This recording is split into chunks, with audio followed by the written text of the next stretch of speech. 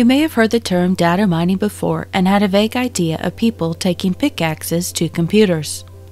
Although this would be an amazing stress relief for anyone who has ever experienced slow internet or a stubborn computer, the reality of data mining is far different. In short, data mining is a way of extracting useful data from a deluge of data, much like a miner will use a pan or sluice to separate gold from the other minerals that surround it. If one is panning for gold, they will discard rocks, sand, and dirt. When mining for data, the analysis will assist in determining whether pieces of information are valuable or useless and enable one to make better informed decisions. It may seem like anyone should be able to determine useful information without resorting to algorithms, but the more information there is, the more complicated it becomes to find said useful information. Think of it like the proverbial needle in the haystack. Finding that needle might not be so bad if the haystack is only a foot tall, but if it stretches 20 feet in the air, the amount of work required to find that needle would also increase. In this case, data mining is like a metal detector. So, why is there so much information in the world? Before computers, recording and storing data involved far more work and tools such as pen, paper, ink, painted canvas, or maybe even a piece of stone and a chisel. I suppose with all the effort involved in literally chiseling words into stone, people didn't make that effort without having something of value to impart. With the advent of computers, data began to grow exponentially. Chiseling into a block of stone what you had for breakfast was probably not going to happen, but think of how easy it is to type ham and eggs delicious into a keyboard and share it with the world. Where people shop, what they buy, places they go, texts they send, all of it is data that grows daily. The numbers are staggering. In 2018, more than 2.5 quintillion bytes of data were created every day. At the beginning of 2020, the number of bytes in the digital universe was 40 times bigger than the number of stars in the observable universe. By 2025, the amount of data generated each day will reach 463 exabytes globally. While words like exabytes might not be familiar, consider that only 5 exabytes could fit all the words ever spoken by humankind. Within a 24 hour period, 18.7 billion text messages will be sent worldwide. Facebook will generate 4 petabytes of data. People will watch 5 billion videos on YouTube, and hundreds of billions of emails will be sent. For a better understanding of just how much a petabyte or exabyte is, check out our other video titled Bits and Bytes. The link appears in the description below. Once upon a time, a producer could determine the popularity and audience demographics of his play by looking out at the audience. Were there more men or women? What was the age group? Were they dressed in expensive gowns or cheap dresses? Were they clapping or throwing tomatoes? Now, people most often watch television at home rather than going to the theater to watch a play. People found ways to track those numbers, but with the advent of DVRs and online streaming, numbers have grown increasingly harder to track. Suffice to say, the amount of data generated every second is so extensive that there is no way to sift through it and find anything of value without help. Data mining discovers unknown yet useful interpretations of knowledge in raw data. For humans, the formula might look something like if, then.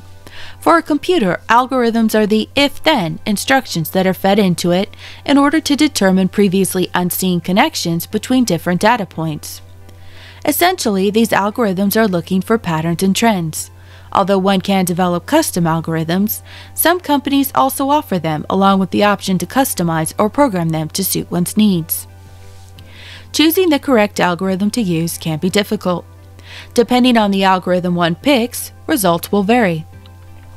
Some analysts will combine a variety of algorithms to discover different views. Data mining might seem complicated, but in reality, it provides an easier way for people to find information that will help them. To illustrate the need for data mining, let's talk about Bob. Bob is nice. Bob is opening an ice cream store. While selecting which 10 flavors to carry, he is given dozens of choices. In order to figure out which flavors will be most beneficial to carry going forward, Bob will track the sales of each individual flavor in his store. After narrowing it down to the core flavors and rotating others through, he may also discover that certain flavors, such as peppermint or pumpkin, will sell better at different types of the year. He will learn that he should always carry vanilla, which is the number one selling flavor. By tracking the data of his sales, Bob will enable himself to save the cost of buying a flavor that won't sell or being out of stock of a popular flavor. On a small scale, Bob has done just fine analyzing the data to determine his sales.